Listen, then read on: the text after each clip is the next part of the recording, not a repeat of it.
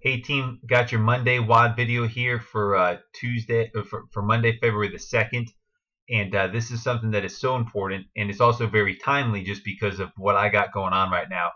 And I want to talk to you about what to do when your leader or a leader comes to town.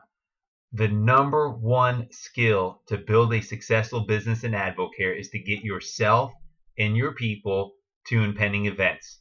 There's no substitution for Mm. live events. You know, the calls, the webinars, they're super important, but whenever there's an opportunity to get your your people and yourself in front of a leader, whether it's a corporate staff member or another cross-line leader or your upline leadership, then you've got to be excited about that. So I want to help you understand what's possible and what can really happen if you get behind this. Because specifically for me, I've got some trips coming up here the next week and a half. Uh, I will be at the Ron Reynolds event in Franklin, Tennessee on was that Thursday the 5th. Friday the 6th, I will be doing a business opportunity meeting and training in uh, Lebanon, Tennessee. I'll be doing a, a Saturday morning training on the 7th in Lebanon, Tennessee. Then on Monday the 9th, I will be doing a a uh, mixer and a quick start training in Bayville, New Jersey. And then on Tuesday the 10th, I'll be doing a business opportunity meeting and uh, distributor training up in where's that at? I just had somewhere outside of uh, Laurence Harbor, but it's somewhere in anyway. It's up the, up there in North Jersey somewhere, a little west of Edison. I don't remember the name of the town. Branchburg. There we go. Branchburg, New Jersey. Uh, up there working with Nikki Kumpel's crew. So many of you who are watching this, either you personally are going to be within driving distance of one or more of those events, and or you know people within driving distance. But even if you're not going to be at one of those specific events, here's what you need to do whenever you've got a leader coming to your area. Number one, get yourself in the room. Wherever it is, just make the decision that when there's a big event going on with a leader in your area, that you will be there. That is always how Beth and I operate. It's what do we need to do to get ourselves in the room? Number two, I want you to be excited about what's possible if you get not just yourself, but other people in the room. I want to take you back six years ago. Beth and I, we were uh, new distributors. We've been in Advocare for right at one year's time, and we were barely silver. So we've been in Advocare for about a year. We're averaging about a thousand dollars or so per month, and we got a call on. It was a, uh, it was a Monday morning, maybe a Sunday night or Monday morning. We got we got like a 48 hour heads up that sales vice president Rick Lloyd was going to be in the area and he was offering to come do a meeting for us in Jacksonville one night, one night only. Now, up to this point in our business, Beth and I had never got more than four people to show up to a mixer at our place. And like I said, we were only making about a thousand dollars a month. But here's the thing: we knew and understood the value of getting people in front of Rick Lloyd. So you know what we did? We worked our list and we worked our phones like never before because we were excited about our people getting to meet and hear from Rick Lloyd. Honestly, I was telling people I don't even care if you're interested in AdvoCare because I knew the value that Rick Lloyd brought to the table. I said, you just have to be there to hear what he has to say. I was telling people, listen, I need you to be there just because I can't have a no show when I got this big wig coming to town. I did whatever I needed to do to get people in the room. Like I said before, Rick Lloyd never had more than four prospects in the room. At this meeting, we had 22 people in the room, and we only had about 36 or 48 hours to promote for that. Do you know what happened? That meeting was on a Tuesday pay period close. We finished that pay period with $110 of override. The very next two periods, we qualified and pinned three star gold and earned a corporate incentive trip to uh, the, the British Virgin Islands, Peter Island. Everything in our business literally changed from that one meeting because we got people in the room. Now, if we can go from only getting four prospects in the room to 18, then so can you. Or 18 more, getting to 22, so can you. That is something that you're capable of doing.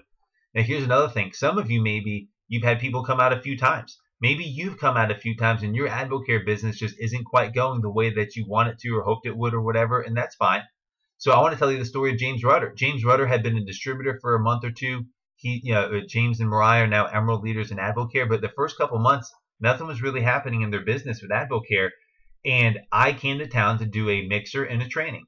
And Brandon and Kathy I knew that they needed to get James in the room and get him in front of me. Mm-hmm. Well, something clicked for James at that meeting, and they went from they couldn't even qualify advisor to they started using the success system. They started doing what I taught them, and they looked up and literally within six months they were Ruby distributors. Or J- James was. This was before before he had met Mariah, but in less than six months' time, he went from like advisor to Ruby because he saw it and got it at one meeting. Now here's my question for you: What if this next meeting coming up? What if you were the person that saw it and got it? What if that new person you invited? What if it was them and they saw it and they, and they got it and they were your next James Rudder? How awesome would that be for your business and for their lives, huh? So with that, here's the whole thing word choice again. I want you to be excited. I want you to write out your list of everyone you know. Do not pre-qualify them. Don't say, "Oh wow, well Nancy, well you know they're not going to be coming or whatever." But I go back to that Rick Lloyd meeting again, and I said, "I don't." I said this is the first time he's ever come to do a meeting, and I don't know if he'll ever come again or not. You have got to be in the room. What do you need to do to get in the room? See, I went at it with a problem-solving mindset, and my excitement, my enthusiasm got people who were not even interested in the room, and some of them got it. It clicked for them. So I want to take you back to that again. What if you got one more person in the room? Who are the top five or ten people? Pull the friend card with them. Yeah, offer to pick them up. If you got to say, if it's an hour drive, say, hey, we'll carpool. I'll pick you up. I'll drive you there. I'll drive you home. I'll pay for your dinner. You know, we'll we'll grab something to eat afterwards on the way home if we got to. Do what you need to do to get in the room because because uh, here's the thing. It's not about me. It's not about Ron Reynolds, although he's pretty incredible. It's not about whatever leaders come to town. They will do their job. Here's the thing. Advocare, the message of Advocare is so strong, so powerful that if you get the right person in the room, you're not going to be able to get them to stop this. You're not going to be able to stop them from moving forward with Advocare. You get the right person in the room. Your job is not to get them to say yes. Your job is to get them in the room to hear what you have to say. So again, First, commit to getting yourself to every event, whether it's close by or further away. Get yourself in the room for those events. Be excited.